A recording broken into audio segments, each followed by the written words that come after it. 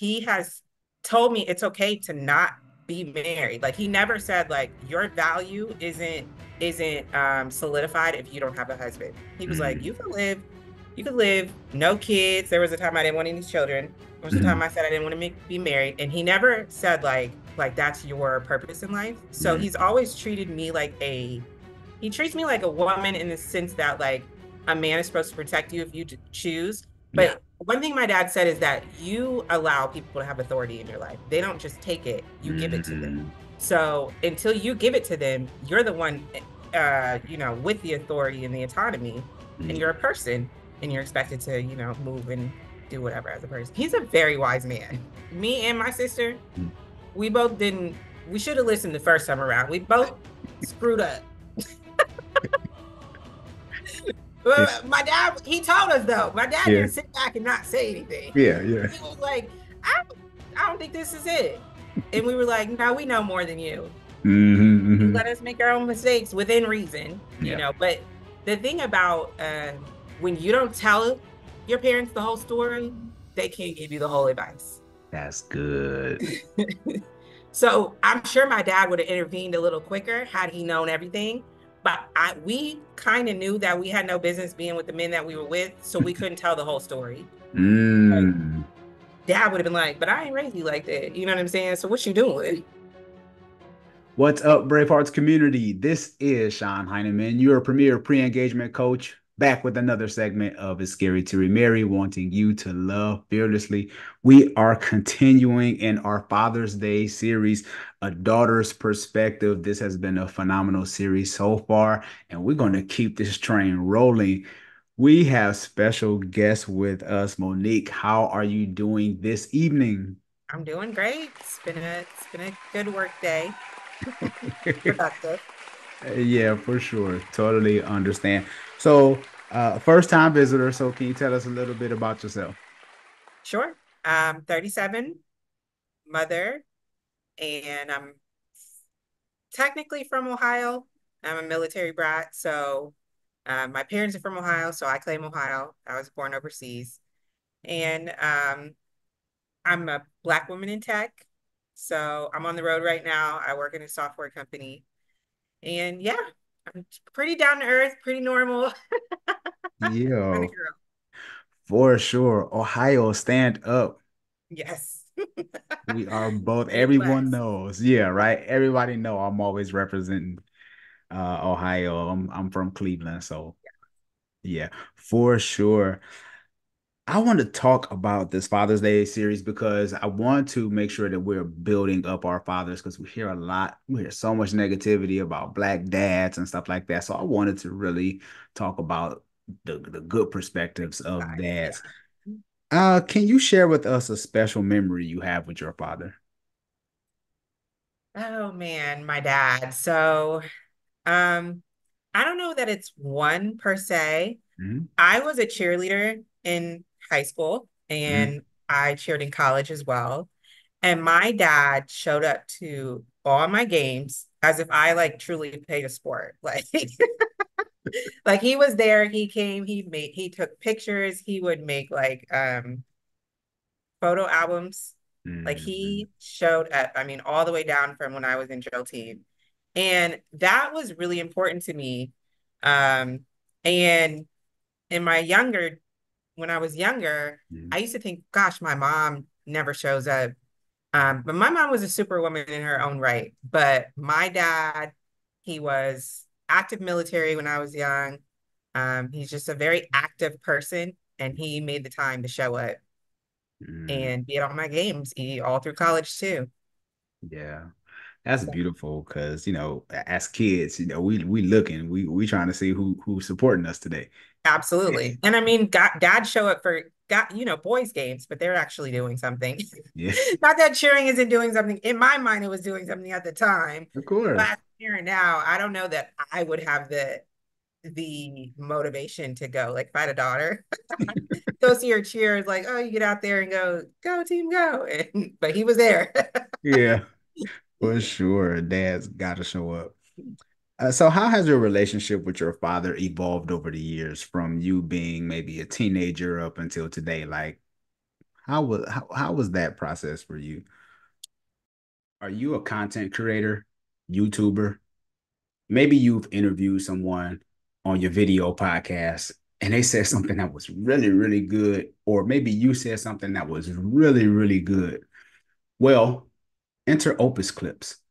This is the platform that I use when I want to share 30 to 60 second video clips that I can share with the whole world. I mean, you can share those clips on TikTok, YouTube, Facebook, uh, Instagram Reels, like these 30 to 60 second clips that Opus Clips can give to you with the click of a mouse. All you have to do is upload the recording and boom, Opus Clips within maybe 10 minutes will give you 15 to 25 different clips with description on the side of the video. And it also gives you like a title and it gives you a rating and let you know how powerful that clip can be used on social media from a rating of 99 all the way down to maybe 60. This is a phenomenal platform that has took my social media marketing to another level.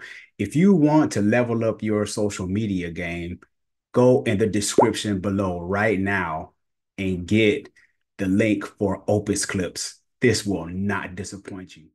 Um, I think the biggest thing with my father is he is the voice of reason. Mm-hmm. And I'm going to tell you a quick story when um this is when I knew that my dad was not only different from me, but someone I needed to like seek counsel from. Is I was building a desk. I was building a desk, okay? And it's so simple the things that you like get wisdom from. But I called my dad. I wanted to build it by myself. I didn't have a man. And I was like, Dad, I need you to come over because I need to build this thing and I don't have any tools. So I need to borrow your tools. And so he was like, All right, I'm bringing the tools over. And me and my girl math or whatever, like, I just want to just put it together. Like, I'm like, All right, I can look at it. I'm smart. I don't really need those directions you know, like whatever. So my dad comes over and he's got the directions and I've read them, but I'm trying to read them as they go, you know, mm. and he's like, let's read them all the way through. We're going to separate the pieces. And they'll be all where they need to be when we need it. Mm. And it made the process so much simpler. Yeah. and that's when I knew, like, all right, my dad has wisdom I don't have. Mm. and so over the years since I was a teenager to now, as you know, 30, late 30s, yeah. Um, I still seek that counsel from my father because mm-hmm. sometimes I don't see the whole picture mm-hmm. and I don't put the places where they need to go so that I can calm down. And mm-hmm. so he's that that voice to be like, listen, everything it seems like a lot right now, yeah. but if we break it down section by section, mm-hmm. it's gonna be okay. Mm, yeah, that's some wisdom right there. Yeah, okay. where where did you get the furniture from? Oh, I don't know. I think it was from Walmart or something. Like, cause I I worked two jobs for a while, so I needed like another desk. Yeah. And like I was like, I need to put this together, and I just need to I just need to do it now. You know, everything is like a now time. oh yeah. Has patience and just he's just wise. Mm-hmm. Cause I was about to say if it was uh shout out to IKEA. I'm not I'm not hating, but you know, right. it, it was from IKEA, it was just a it'd have been different monsters no, it was. It might as well have been. It was just like I don't even know what all this stuff is. C B D one two three like. That's so real. Uh, what life lessons has your father taught you that you still carry with you to this day? Um, one of the biggest ones. Uh, I and I'm sorry to your listeners. Everything is a story with me. It's all good. Sometimes I don't have the language. Yeah. Um, so, to give you a background about me, I am a calculated risk taker. I'm not one to gamble, but I am one to be like, instead of what could go wrong, I'm like, what could go right, you know? Mm-hmm. So, I had started dating this guy and I decided that this could be my husband. So, I'm to move to another state and and make it happen. And I'm going to yeah. quit my job. I worked for the government. I come from a government family. So I worked for the government for eight years, living in my town in Ohio. Everything was like stable. Yeah. And I said, I'm just going to quit this job, start over in the private sector, and move to another state that I've never been to. and the thing my dad told me when I had ran this by him, because it wasn't like it was a risky move, but it wasn't like I didn't think about it. I didn't plan for it or whatever. Yeah. yeah. And um, I asked him, I said, You think I'm you think I'm kind of crazy? and he said, No, I think you're rebranding. And I think it's good to rebrand um, in different stages of your life to, mm. in order to move forward. So that was a lesson. I had not looked at it that way. Mm-hmm. And that is the way that I view um, like different stages in my life. Like mm-hmm. this is um, a rebrand. Yeah. But not the way like I screwed that one up, but like all huge companies do it, right? Coca Cola, mm-hmm. mm-hmm. 2 Chainz. Yep. Yep. like talk about it. Okay, so my dad gave me that, and because he like when he retired from the military, he went to do um uh Homeland Security, mm-hmm. and my parents are married. They've been married for over forty years, mm-hmm. and by this time when he retired, he they'd been married over 20 years at that time. Mm-hmm. And when he went to Homeland Security, he had to go live somewhere else. So my parents had a seven year long distance marriage. Wow. And that's territory they never handled before. And honestly, I think it helped them. I think the distance kind of like rebranded their marriage. Wow. so wow. um he just gives me that lesson like don't be scared because if you make fear-based decisions, you'll get fear-based results. Mm. So he just tells me get out there and he really supports my passion to like try. Mm, that's good. So what did that do for you um with him kind of giving you that kind of like affirmation to a degree or you know just seeing it from a different viewpoint like what did that do for you yeah um i think it gives me the courage to fail mm. because you can bounce back. mm-hmm. And I love that he gave that to me. Yeah. Because I think that um not wondering if what if mm. is worse than regret to me. Yeah. it's the worst, right? because you just ruminate, and that's just like, I don't want to do that. I can say, I did it. This is what happened, and I learned from it. And um, one thing that my dad uh, has given me, along with my mother, um, is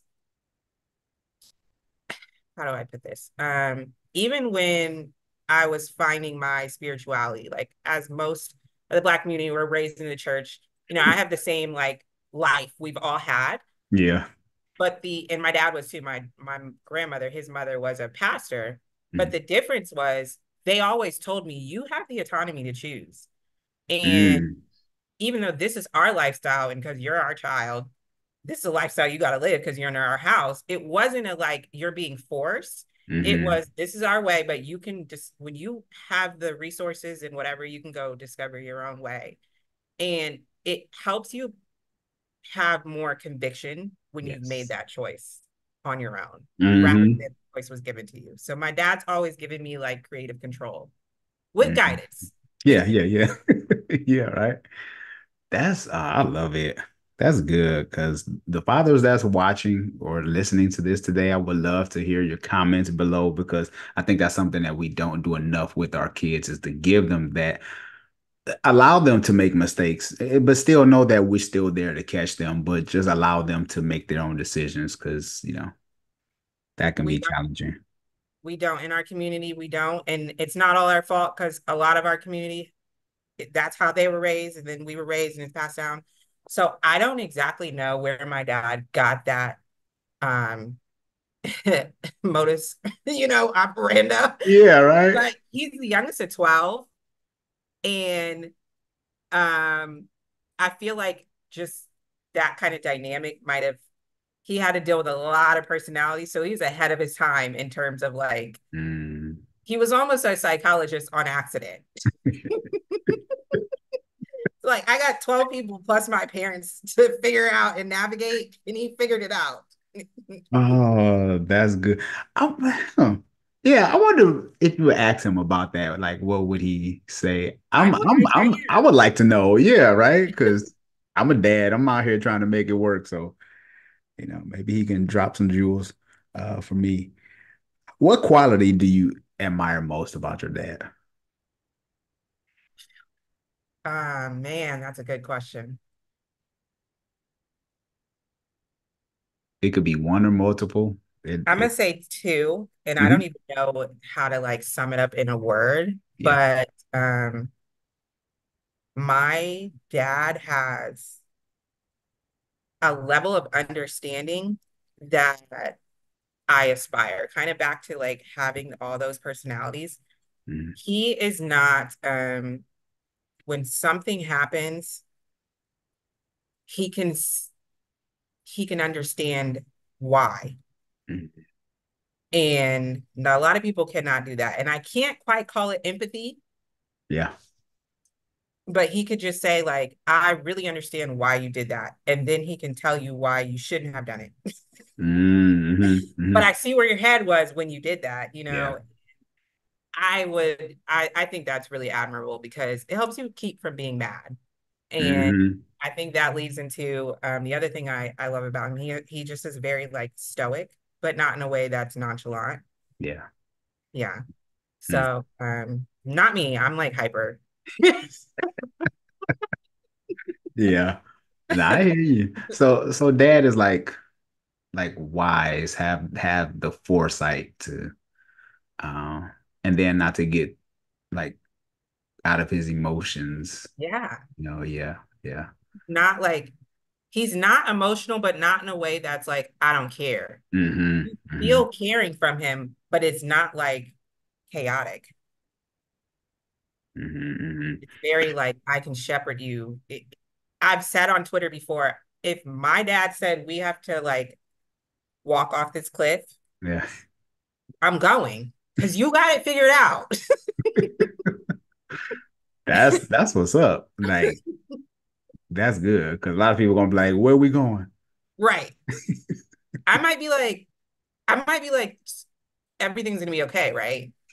And if he says okay, I'm like, okay. All right, let's let's go there. What's the most valuable piece of advice he's given you that you take with you to this day? it's kind of silly. Mm, So my first heartbreak, mm, um, it had been like a couple months, and I was like, I don't like this. How long is this gonna take? yeah. Like, come on now. Like, it's been enough time. And and I remember him saying, How long did it take for you to get in it? And that was some wisdom. I don't know why I didn't think of that. Like, you Mm, know what? You're right. It took me a couple and he didn't give me a certain amount, but I I wanted it to yeah. to hurry up like in like a Yeah. couple. Like, come on. Yeah. And I think we live in a society where it's kind of like a flex to be like, I got over it. I'm over you 24 hours ago. Who? Mike, who? but um, he really taught me to process, like process it, because the longer you avoid it, avoidance and actual processing are not the same. They might look the same on the surface, but they're not happening the same on the in the inside. So he taught me uh, the advice of like processing it so that you can truly move on from it, which Mhm. kind of ties into the rebrand. Like now you've really had that error, and you you can truly move on instead of you know how um there's repackaging and there's rebranding, you know, and I hmm hmm looks the same, but it's not the same. Yeah. Yeah. Yeah. That's so yeah. that's good. Yeah, because you so how old were you at that time? Like going through that That heartbreak. that Oh, heartbreak? I Yeah. How so old were you? I was so young. I was like early 20s.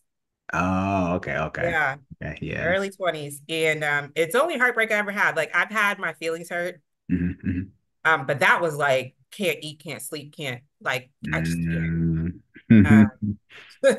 It Uh, was an R&B song. Yes, it was bad. And and he and I was young and and my dad could have been like, girl, you young, girl, bye. Yeah. But I'm talking about like super young, like 19 to like 21, you know. Yeah. Um, and but he didn't. He always um recognized the stage I was in that life and took what I took serious serious. Mm-hmm. Even though he could have said, you know, as a parent, and you're a parent, my son will tell me something and it'd be like, it's the end of the world. And in my mind, I'm like, boy, please, this is not the end of the world. yeah. but they, you can't process that in that moment. It's in your world, you know? Mm-hmm. Um, so mm-hmm. he would like take my world serious mm-hmm. out of whatever stage that is, you know? Yeah. So that's, that's good. And uh, I don't want to get off track, but you talked about processing your feelings and you talked about in with culture how we just so quick to I'm over somebody. Yeah. Uh all of that is cap, right? It's it's all that isn't. It's not true. Eh, yeah, because it takes a while to get over somebody, depending on how long the relationship if was. you don't grieve, you're not over it. And that's yourself. You have to grieve yourself. You have to grieve old version of yourself, old people, even if it's the right thing to do, mm-hmm. you got to grieve it. Mm-hmm, mm-hmm. Yeah, very few people willing to take that time to actually say, "I'm I'm grieving," right? Yeah. Uh, and very very few able to recognize that. Uh, can you share a time with your father where he supported you the most during a challenging time in your life, or was it the heartbreak? No, honestly, it was when I moved to I moved to Detroit. Mm-hmm. Um, when I told you I had did my first rebrand. Uh, and I decided to go back in the private sector. And I had to start from scratch. And I was 30, 30, 31. Mm-hmm. And um, I think some of your listeners can relate to when you when you are good, like you're typically like just good at whatever you do. Mm-hmm. And it just kind of comes easy. Mm-hmm. You expect you have that expectation anything you try. And when I went into the private sector and decided to be a loan officer, um, it was hard. Mm-hmm. I was mm-hmm. challenged. I felt dumb. I was like, I'm I'm an idiot. I know I'm not, but it's feeling yeah, like it. Sure. Yeah. I was working 14 hour days. My mm-hmm. um I had moved to Detroit, so I had to like get my feet grounded. So I didn't have my son right away. He spent this summer at home with my parents. So I had no family. I didn't have my son. I was in, I was just, everything was new. And I was calling my dad crying. and he talked me off the ledge every time. Wow. Like he didn't say, You're 30, suck it up, buttercup. mm, yeah, right. he, he, I had the same almost similar experience when I went through freshman year of college. I went from, I grew up in an affluent white neighborhood and I went to an HBCU, and it was a very mm. stark change for me. And I was calling my dad my freshman year, like, it's ghetto. They don't like me. They're telling me I'm an Oreo, da, da, da, and I'm crying. And it was, it was, it was like deja vu. Like he, it was like I was that 18 year old in a new territory, like with new people, with nobody, and he still treated me with care. Mm. And I love that for me. mm, yeah. That's yeah, that's good because like you say, even at 30, he didn't look at you like girl, you grown. Yeah. You know, so that's that's beautiful. Uh, what role has your father played in shaping your views on family and relationships? I'm surprised. So, you know, my parents are married, like I've mentioned several times, mm-hmm. and um, his parents were married. My dad's parents. He came mm-hmm. from a, a nuclear family. My mother came from a nuclear family, mm. and and I come from a nuclear family. So yeah. mm. he uh just from sight, you know, he um was the more traditional, like he is the the one who makes the most money. Mm-hmm. Um, and he is the final say in the house. But the good thing about my dad, um, that, that I have some other friends who can't say the same, is that my mom's voice mattered. Mm-hmm. So he didn't say like, "Girl, you don't make enough money to um, have an opinion." Like he never said that. Mm-hmm. Um, and he was just he always heard everybody out. He, it's a house mm-hmm. full of women. He had two girls. We had two girl dogs. he had my mother. So yeah. there's just girls everywhere. He heard everyone out. He kept his cool. Um, he took care of the house. He always made us feel like he gave us safety. Like when my dad would walk in the house, it was like a safe harbor. Like, all right, everything's gonna be fine. I don't know, it, mm-hmm. everything could have been on fire mm-hmm. before you walked in, but when dad gets home, everything's cool. Mm-hmm, mm-hmm. And um, I used to just like, like wish for him to be home. So he's that's what he's given me an example of or instilled in me, if you will. Yeah. But then the other side of that is um, he has told me it's okay to not be married. Like he never said like your value isn't isn't um solidified if you don't have a husband. He was mm-hmm. like, you can live, you could live, no kids. There was a time I didn't want any children. There was mm-hmm. a time I said I didn't want to make, be married. And he never said like, um, like that's your purpose in life. So mm-hmm. he's always treated me like a he treats me like a woman in the sense that like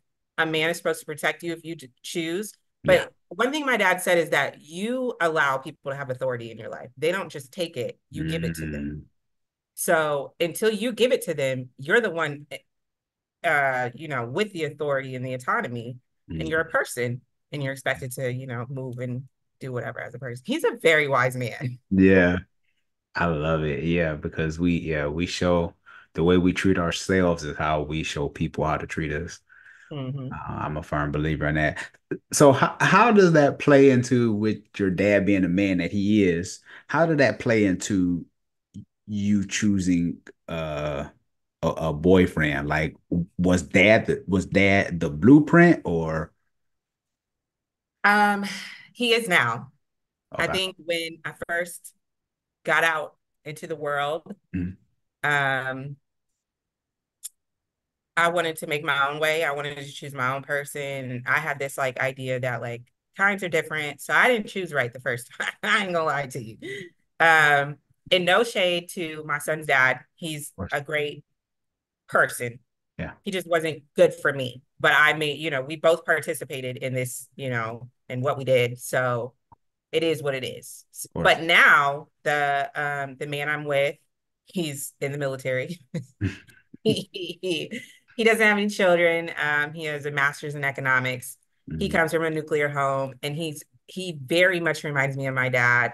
Like, it's almost crazy. My dad loves him too.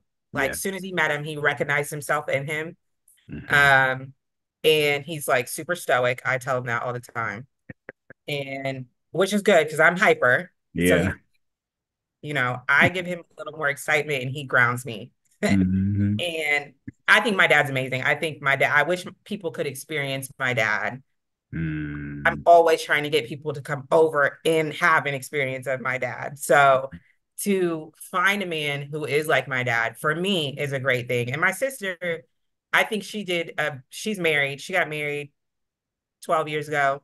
Mm. And my brother-in-law is very much a a leader, you know, like he he he's he's just a good person. So I think my dad did a good job. Yeah. But yeah. we both, me and my sister, mm. we both didn't. We should have listened the first time around. We both screwed up. my dad, he told us though. My dad yeah. didn't sit back and not say anything. Yeah, yeah. He was like, I, I don't think this is it. And we were like, no, we know more than you. Mm-hmm, mm-hmm. Let us make our own mistakes within reason, you yeah. know. But the thing about um, not to take not let you get a word in, but I want to say this because no. This is good. Um, when you don't tell your parents the whole story, they can't give you the whole advice. That's good. so I'm sure my dad would have intervened a little quicker had he known everything. But I we kind of knew that we had no business being with the men that we were with, so we couldn't tell the whole story. Mm dad would have been like, but I ain't raised you like that. You know what I'm saying? So what you doing? mm-hmm. um, so yeah, he don't he, he don't know all the details because I was embarrassed because I know better. Mm. Yeah. That's like they tell you in therapy, they can't help you if you don't if you're not honest, right? Not honest. Mm. You yeah. lie to yourself or anybody else. So that's some wisdom right there. That's a yeah, that's gonna help somebody. Gotta tell the whole story. Yeah. She is. Uh, what's one thing you, if you could say one thing to your father right now, if he was watching this, what would you say to him? I tell my dad every day. I think he's amazing. He's my best friend, and um, I wouldn't be where I'm at without him. Mm, and I love him, of course. and he would say, "How much money do you need?"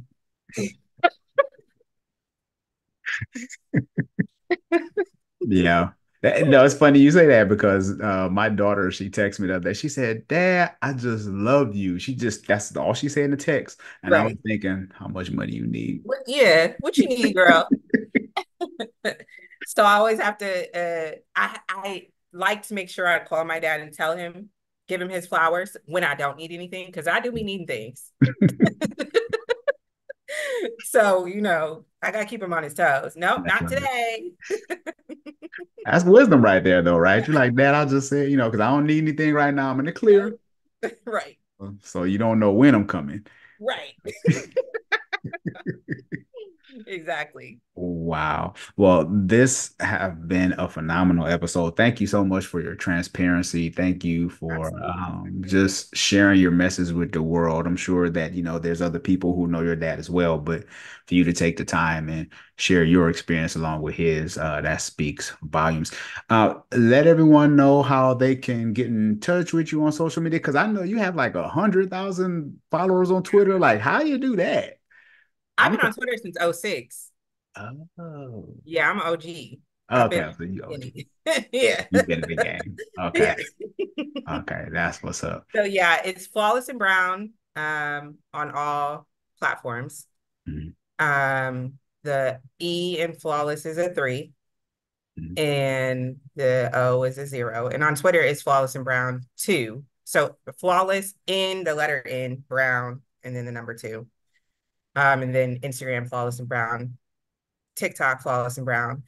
And I just want to say this Flawless and Brown represents me as I used to be a makeup artist and um, I made a Flawless and Brown application. So for anybody mm. comes up to me like, you're not flawless, nobody's flawless. Mm-hmm. But if I did your face, your makeup was flawless. mm-hmm. So that's that's the the story behind that. Yes, love it. Well, I'll make sure I have all the good stuff linked up in the description below and how everyone can get in touch with you, you know, just in case, you know, yeah, they, you know. yeah, for sure. I would love to come back. This was so much fun. Yes, because there's so much stuff.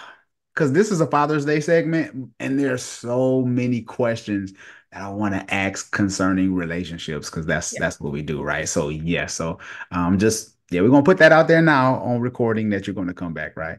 Absolutely. Okay. All right. Brave Hearts community, you heard it here. So if she don't come back, make sure you hit her up on Twitter. And like, hey, you said, yeah, you said you were coming back.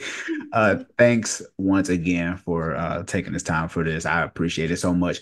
Brave Hearts community, if you are watching this via YouTube, make sure you hit the subscribe button. Make sure you share this with someone. Father's Day is coming up even if it's not Father's Day, like still show your dad some love because it's segments like this that can really help change the dynamic of a relationship. If you are listening to this via podcast, make sure you leave a rating and review. Would love to hear from you. Give us a five star rating, give us a two star, three star. I want to hear from you. And by doing so, I'll put you on a drawing for a free Amazon gift card. Who doesn't like free stuff? Okay. so this is Sean Heineman, and we are.